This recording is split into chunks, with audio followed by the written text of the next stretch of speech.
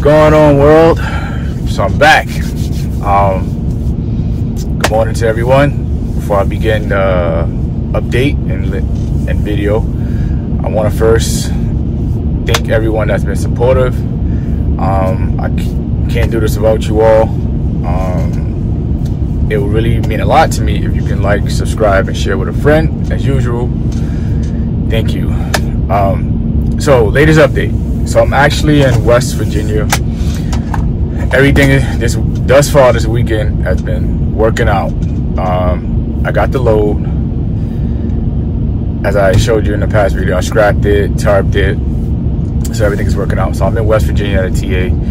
Um, actually, my company actually decided to, who knows, to actually put the paperwork in for me to see what's going on with the vehicle, which took hours and hours and hours. I was constantly keep putting the DVR in, putting the same reports, which like again, like I stated, if you if you know about Western Express, you know about Western Express. I'm not gonna I'm not gonna go no further than that. But some days I do get frustrated and just being the obvious. That's what this that's what this series is called, the obvious. Um, but everything seemed to be okay. So they couldn't they couldn't detect what was the issue. They detected what was the issue, but it has to go to Freightliner because it's a freight it's a Freightliner issue. So they probably have to run and do a computer, turn off a switch or etc. That's what all all new cars, vehicles, etc. You normally need to go to the dealer. Um, fun fact: when you buy a, a, a vehicle, whether it's a truck, whether it's a car, try to stick with a dealer. Stop going to mom and pops because you don't know what did they do, what happened to this vehicle, what happened to this vehicle prior. You don't know anything about it. So stick with a mom and pop. Don't stick with a mom and pop. Stick with a dealership and start going to the your local mechanic that's been working on the same car for 20 years and yet it has the same issues. Like that's just that's that's just a sidebar. I just uh, you know I just wanted to say something like that. Um, but yeah, so everything seems to be going great thus far.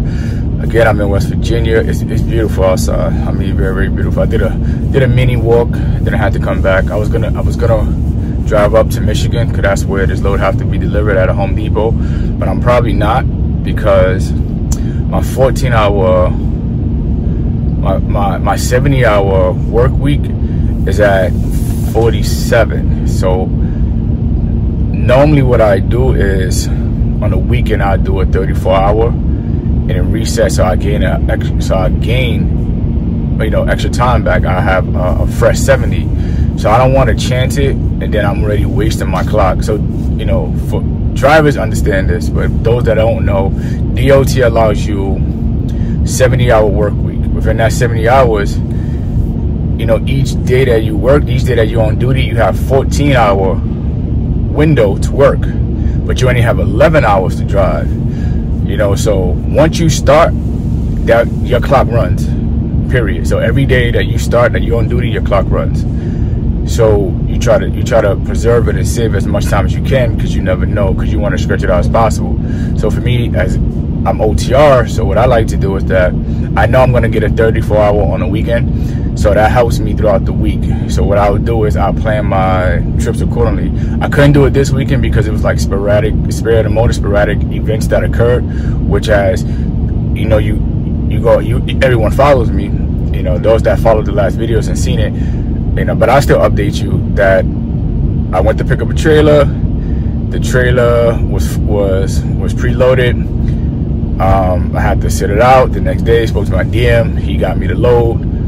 Um, now, moving forward, I got to take this load to Michigan. So that's that in a nutshell. So, so yeah. So what I'm what I'm probably gonna do now is that I'm gonna rest until about 11 o'clock. Then my then my 34 hour has has reset. Now I have a fresh 70 for the week, which I want. I want a fresh 70 for the week. I don't want to be I don't be I don't want to be under 60 because that's gonna be difficult. Um, to work with. So I'm going to do that. Then I'm going to drive up to Michigan um, to Home Depot, deliver the load, and then wait and then wait from there to see. Well, he said he's going to give me a load out of there. Hopefully he does. Fingers crossed.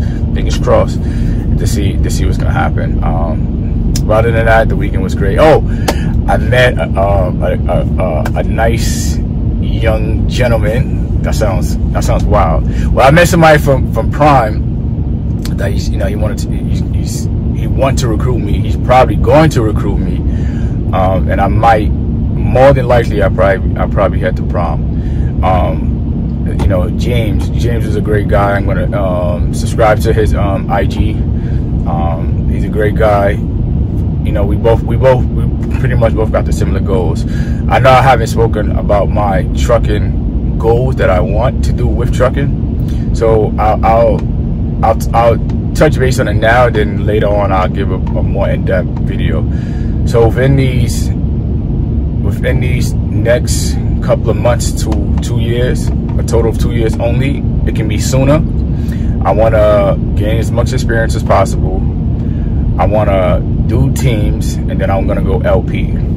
So this all can occur within the next couple of months, within the same year, or two years. But in total, it's gonna be two years that I'm with a company, and then I'm definitely gonna own an app.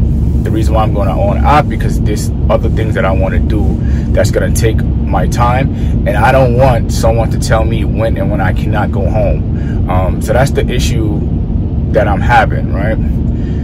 But that goes with any job. You know, you work and you work nine to five, you go on break, you go home, etc. So I wanted that. I have my own destiny in my hands, so that's why I'm, I'm, pushing for me to hurry up and do this owner operator thing. With LP too, I can do LP, and I can pretty much that's lease purchase. Everyone, I can pretty much have my own schedule as well, but I'm still under someone's umbrella. I don't want to be under anyone's umbrella. I want to activate my LLC um, when I'm owner operator. So so with that being said, I just wanted to uh, give you a little update about that. But yeah, other than that, everything is going great. Um, like I said, I wanted to just touch base with you all and show you what's happening, where I'm at, what I'm doing moving forward. Um, so once I deliver this load in Michigan, hopefully I get another load um, directing me where. I have no idea. Um, but I just don't want any more setbacks. I know we all know I keep emphasizing that setbacks do occur yes, I'm aware of that setbacks do occur and how do you prepare yourself when these setbacks occur. But I also don't like situations that can be avoided. And that's why I so that's why this series called The Obvious because most of what I've gone through with this company, with the situations could have been avoided. It should have been avoided, but it was not avoided. But I don't wanna I don't wanna hover over that we always got to think, you know, God, and we always got to thank ourselves as well because without you, you can't be the best version of you. Yes, you do need God, but God is only going to give you but so much. He's going to guide you. You still need to do the work. Make sure you do the work. Don't ask God for something. He gives it to you, and then you don't do the work. Do the work. It's going to get you there. Remember, this channel is called Modifying Greatness and we all great. We just got to modify whatever it is that we need to do to get to that greatness. We have to do it. And that's why I stick with what I always stated, modifying greatness. And we all we all are great. We all have talents. Within ourselves, we just need to figure out what do we need to modify to be great. So that's what I wanted to spare with you all. A brief, brief video. I'm probably, I don't know if I'm gonna do another one a little later because um, I probably rest a little um, I wanted to actually to actually look at some apps, you know, add more to to my to my videos, etc. Because I have a bunch of things that I want to add on to it, but because uh, uh, you know circumstances, I, will probably get to it next weekend. This weekend, I want to like relax, re, you know, recuperate, chill, and then move forward from there and get ready for the work week um, come Monday which I hope, I'm sure I'm going to get some downtown within a week. Unless she send me somewhere crazy, that I'm just like, oh man, um, like, I don't know. But yeah, so we're gonna, so we're definitely gonna do that. Uh, as you can see, I'm woofing, man. I gotta, I gotta hurry up and get home because this is aggravating me. I don't like to look like this. I like to be, you know, clean cut, eyebrows neat, everything accordingly. Oh, before I, before, before I get out, drivers, please shower. I don't want to bump into you and you smell like horse shit, females or males, wash your ass. That's this is and this is you don't even have to be a driver to wash your ass. This is something you're taught as a child. So whoever raising you all, they done a, a, a poor piss job because this ain't a behavior that you just occurred. This behavior has been priored before you became whoever you became. On your everyday life, wash your ass. Being on the road don't make it no difference. You take you take home tendencies on the road with you, so you will have a better experience. I do not want to. I do not want to keep repeating myself about drivers not washing their ass. Please wash your ass. I, I, I no, I'm not digressing. I'm being honest about that because I don't want to. I'm tired of bumping into somebody that looked like they ran through the mills of of of the, the fields of mud and smelling like last year, both men and females. Nah, that's not that's not cool. And especially in Virginia, Virginia has a poor ha hygiene hygiene issue. Nobody has teeth. Uh, everybody I've encountered, whether it's everyday people or even people at the terminal at the Virginia, General, they all have no teeth or it's rotten. Come on, man, get your hygiene in order. This is insane. But anyway, like I said, we all we all here to modify greatness. We all um, sticking together as a family. I appreciate everyone that's being supportive of my channel. Thank you, thank you, thank you. You know, it's growing. This is not a it's not a race. It's a marathon. I don't expect I don't expect Rome to be built overnight, but I am asking that the support continues and you guys build with me and we go on this journey together. Um, as usual in sign language, love you all